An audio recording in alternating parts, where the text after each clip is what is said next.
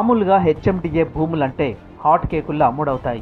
ఉప్పల్ భగాయత్ కూకట్పల్లి మియాపూర్ కోకాపేట కానామేట్ భూముల అమ్మకాలతో సర్కారుకు ఇప్పటికే ఐదు వేల కోట్ల వరకు ఆదాయం వచ్చింది. అయితే ఈసారి కూడా భూముల వేలంతో మంచి ఆదాయం వస్తుందని అంచనా వేసింది ప్రభుత్వం. కానీ సర్కార్ అంచనాలు తారుమారయ్యాయి.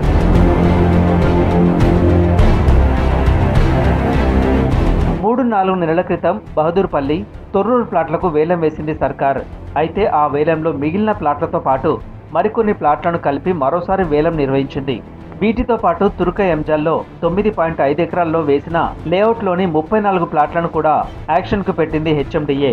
తొర్రూరులో నూట నలభై ప్లాట్లు బహదూర్పల్లిలో యాభై ఒక ప్లాట్లు కలిపి మొత్తం రెండు వందల ఇరవై ఐదు ప్లాట్లను నాలుగు రోజుల పాటు వేలం వేసింది.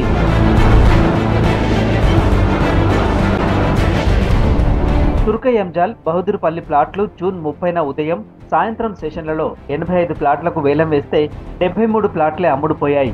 అందులో బహదూర్పల్లిలో ఒక్క ప్లాట్ మిగిలితే తుర్క ఎంజాల్లో పదకొండు ప్లాట్లకు బిడ్డింగ్ వేయడానికి ఎవరూ ముందుకు రాలేదు.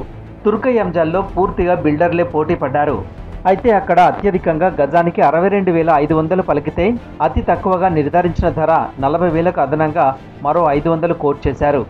బహదూర్పల్లిలో నిర్ధారించిన ధర ఇరవై ఐదు వేలు ఉంటే ఇక్కడ కూడా గజానికి అత్యధికంగా నలభై రెండు వేల వరకు పోయింది.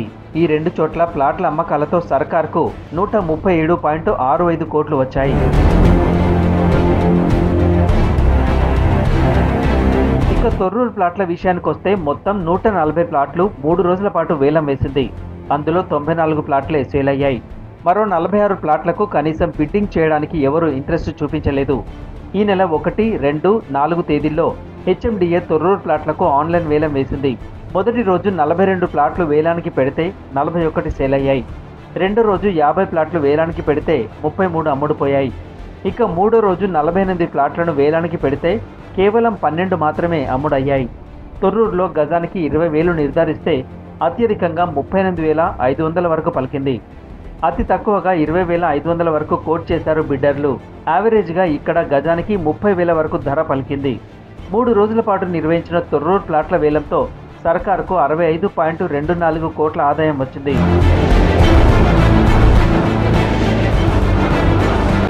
మొత్తానికి హెచ్ఎండిఏ నాలుగు రోజుల పాటు నిర్వహించిన ప్లాట్ల వేలం అంతగా ఆదాయం రాబట్టలేకపోయింది. మూడు చోట్ల రెండు వందల ఇరవై ఐదు ప్లాట్ల అమ్మకాలతో సర్కారుకు నాలుగు వందల నుండి ఐదు వందల కోట్ల వరకు ఆదాయం వస్తుందని అంచనా వేసింది. కానీ యాభై ఎనిమిది ప్లాట్ల కొనుగోలుకు బిడ్డర్లు ఎవరూ ముందుకు రాకపోవడం కొనుగోలు చేసిన నూట అరవై ఏడు ప్లాట్లకు సైతం ఎక్కువ ధర కోట్ చేయకపోవడం వల్ల అనుకున్నంత ఆదాయం రాలేదని అంటున్నారు అధికారులు.